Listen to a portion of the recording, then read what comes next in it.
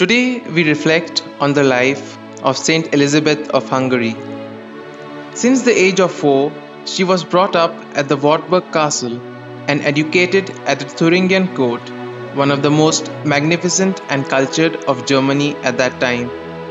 Distinguished for her piety from early youth, Elizabeth pursued her devotions and active works of charity quite undeterred by the ridicule and rudeness of the frivolous courtiers. Characteristic of her humility was her refusal to wear her golden and bejeweled coronet in church.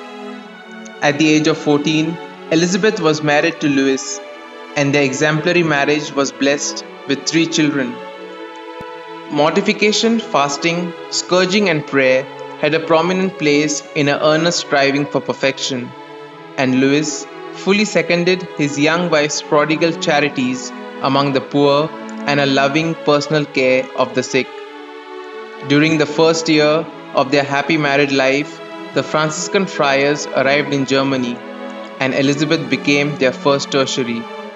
In 1227, while on his way to the Sixth Crusade, Louis suddenly died of the typhus, leaving the young Elizabeth rather heartbroken and defenseless.